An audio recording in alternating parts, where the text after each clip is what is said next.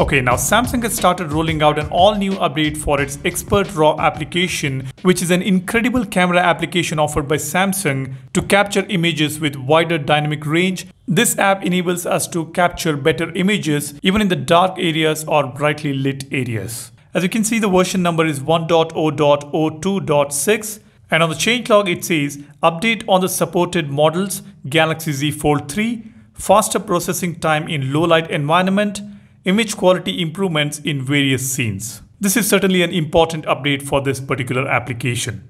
Samsung has now added Galaxy Z Fold 3 to support this application. So if you're a Galaxy Z Fold 3 user, you will be able to use this application on your device.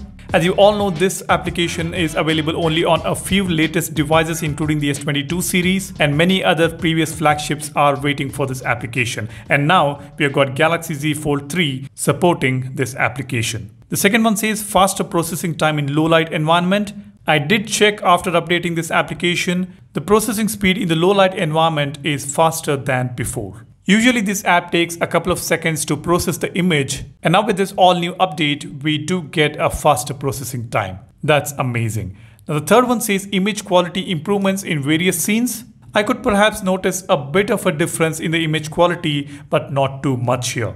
Anyways, any new improvement with the update is always a welcome change.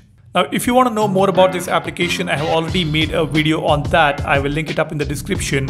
You can go ahead and check that out. While you do that, let me know how many of you guys have this application on your device. Do let me know in the comment section below and also mention from which country you are commenting from. That would be great to know my audience. Anyways, that's all I have here. I hope you have already subscribed to the channel and smashed that like button for this video. Thanks a lot for watching. My name is Salyan, signing off. You guys take care, stay safe. I will see you in the next one. Cheers, bye-bye.